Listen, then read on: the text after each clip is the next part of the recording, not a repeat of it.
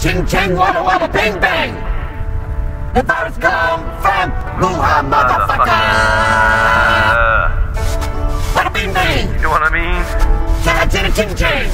It came from Wuhan, motherfucker. After Harvard College guy gets arrested, comes to find out there's two other Chinese who got arrested too. There one's a lieutenant from the Chinese Liberation Army, the other one got caught smuggling Bio and, and nanotechnology. Took it back to college next to a lab I gotta say it again. in Wuhan.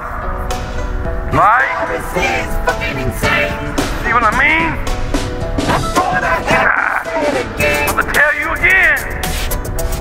From Wuhan, motherfucker. You gonna put two and two and make three. It came from Wuhan, motherfucker. Come on, man. Come on. It came from Wuhan, Motherfucker. The Harvard professor college guy. Well, he worked with these two people And you play for about a couple years, you think. Wuhan, motherfucker. That's treason.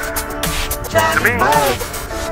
Yeah. Cause it came from China. Motherfucker. Haircut podcast.